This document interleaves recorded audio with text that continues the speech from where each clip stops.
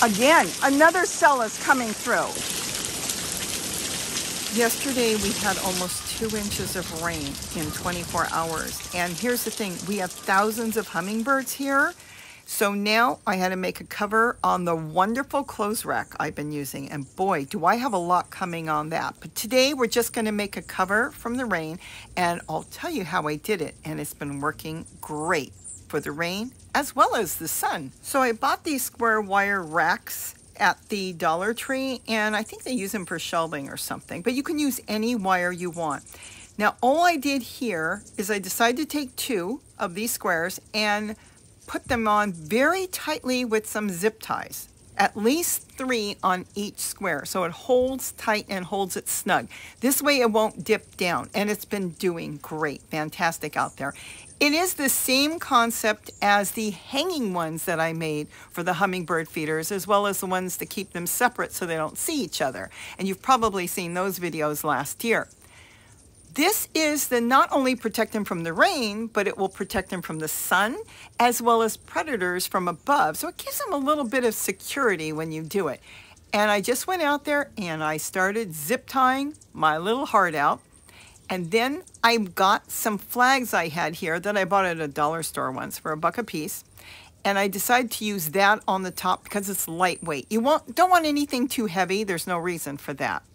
Now with the flags, they came in plastic. So I decided to use the plastic that they came with by putting that on first and laying the flags on top.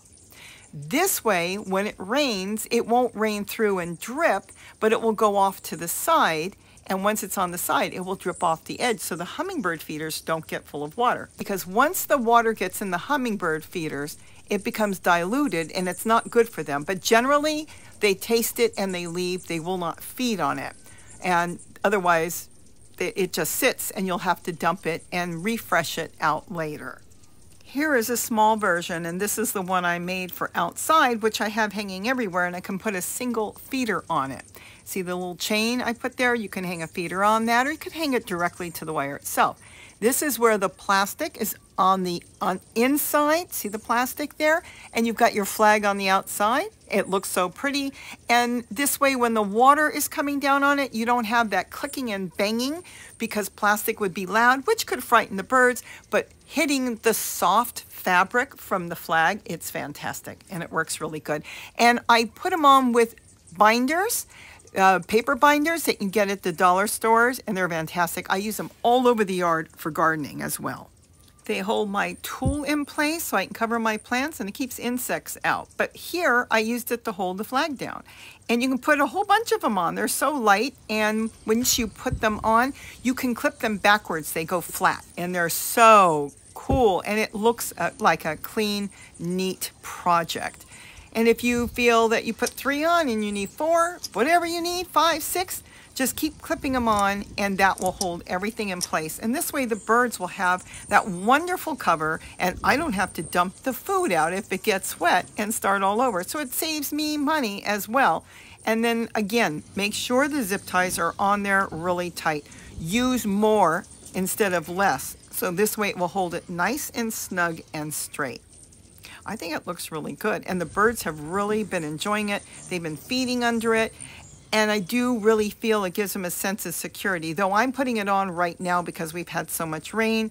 Once summer comes and it's really hot, it will help shade the food and keep it cool. This way it doesn't have to hang out in the hot sun, the food, the feeders.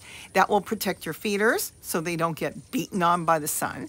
It will protect the food in there and keep it cooler. And, well, the birds enjoy it too. Think about it. They forage in trees and plants. There are a lot of times they like tucking away a little bit, and this keeps them protected from a lot of the elements there.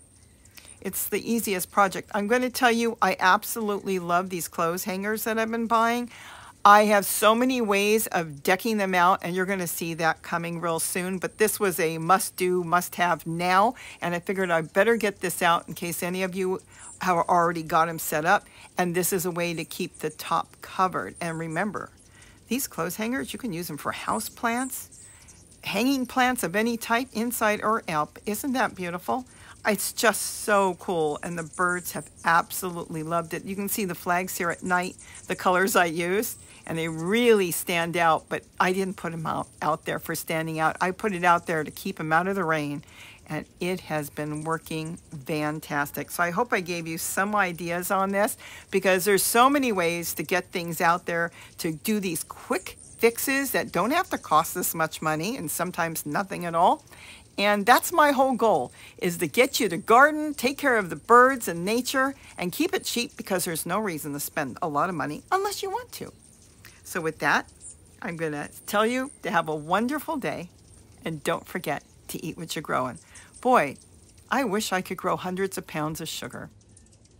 Bye-bye, everybody. Have a great day.